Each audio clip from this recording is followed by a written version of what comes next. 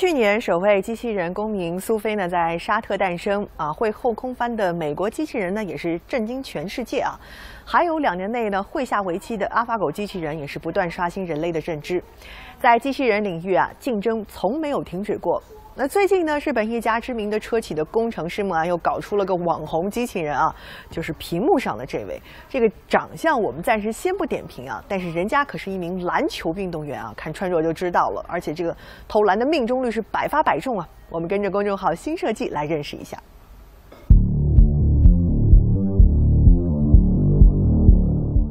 这个篮球机器人是由十七名丰田工程师在空闲时间研发的，名叫 Q。据说设计原型来自日本漫画《灌篮高手》的主角樱木花道，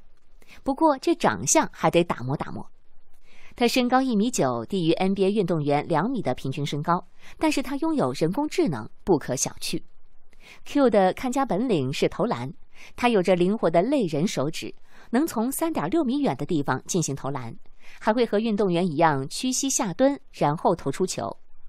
为了让其一投一个准，工程师们除了对手部做精确设计，还应用高速摄像机和实时反馈技术，并通过人工智能编程，让它进行了二十多万次的投篮学习。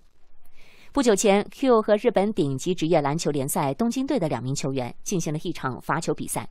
职业球员十罚八进，而 Q 的命中率是百发百中，这让职业球员感到很沮丧。不过，Q 目前在球场上还不能移动，更别提啥防守技术了，所以篮球明星们可以长舒一口气了。但是，人工智能飞速发展，未来的事可真不好说了。